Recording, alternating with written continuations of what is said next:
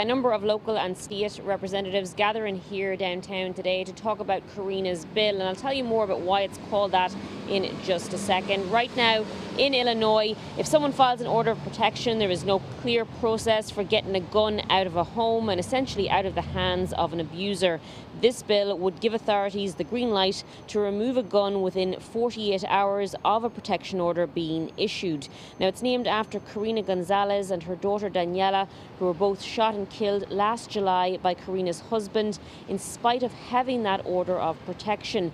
Karina's son Manny was also shot in that altercation, but he survived. Karina's cousin Monica spoke today about the family's pain she always kept her spirits up and found a way to persevere. If you ask me, she was a warrior.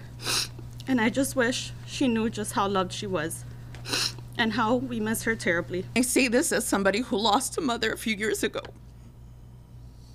And I think about Manny, and he doesn't know this, but I think about him often.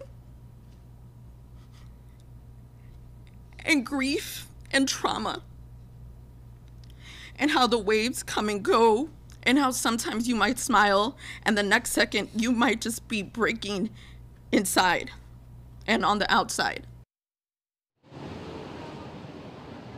Now, among the statistics we hear here today is that the risk of homicide at the hands of a partner increases 500% when that abuser has access to a gun. Advocates tried to get this passed last May. It did not clear the Senate, but they're hoping it does move forward in the spring session. We're live downtown. Bronagh Tumulty, WGN News.